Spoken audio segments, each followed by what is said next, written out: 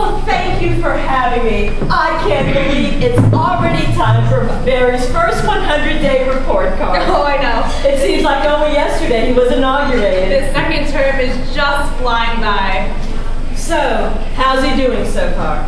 Now, I know he had some struggles his first term, but I figure since he was looked past and moved up a grade, he'd be fitting in better with his peers by now. Well, we'd hope that too, but uh, unfortunately, Barack still doesn't seem to be living up to his full potential.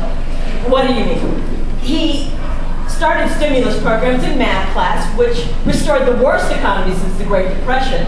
Uh, he cleaned up wars the previous class started. He's made enormous headway with uh, gay rights. The Glee Club loves him. Uh, he got good marks in health class when we started Obamacare. He established the Consumer Financial Protection Bureau. And why, he even helped that little husky New Jersey kid with the Sandy Project. Yes, but Mrs. Mrs. Obama, those were all accomplishments from last semester. You do realize he's had to deal with an enormous amount of bullying from his classmates. Bullies? Now, do you know how many times little Johnny comes in here crying? The Boehner kid? you have got to be kidding me. That little crybaby is the worst bully of them all. Barry tries to play nice with him. Look at little Chucky Hagel.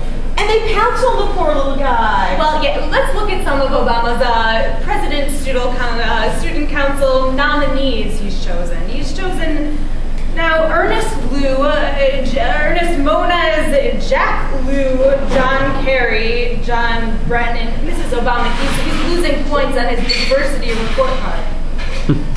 He is considering paying Pritzker for Commerce oh, Pritzker.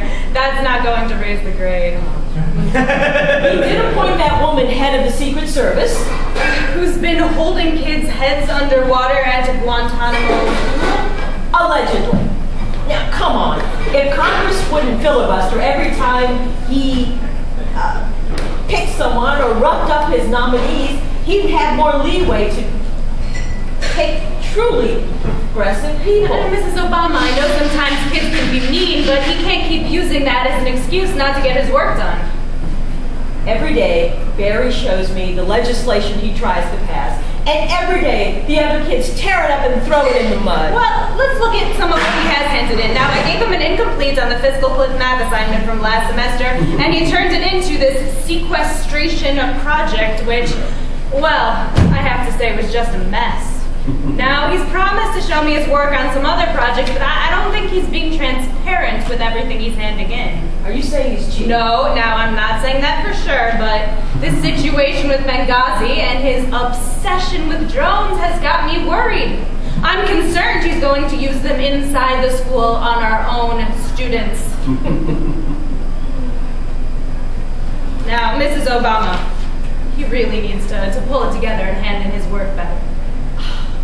Well, I've told him to be careful with the drones. I mean, he's hanging out with the Pentagon and the CIA kids. Uh, the, I told him he can't bring them to school. Where is he getting these toys? yeah, I guess he's not listening to me. Um, the other class just left them around, and frankly, I'm really concerned he's becoming a little too enamored with them. And right at the time where it could really come through on classroom super soaker regulations. Now, Mrs. Obama, he can't keep letting these important projects languish. He is still doing okay in his AP class, though, isn't he? Well, the actually progressive group is a little upset that the Keystone Pipeline has yet to be stopped, but they're going to give him a little leeway to see what he does with immigration. Now, Mrs. Obama, so far I'd have to give him for this semester a C minus. You see that, honey? And you thought you were getting a D plus. Actually, he was, but well, his classroom presentations are just always so, so good.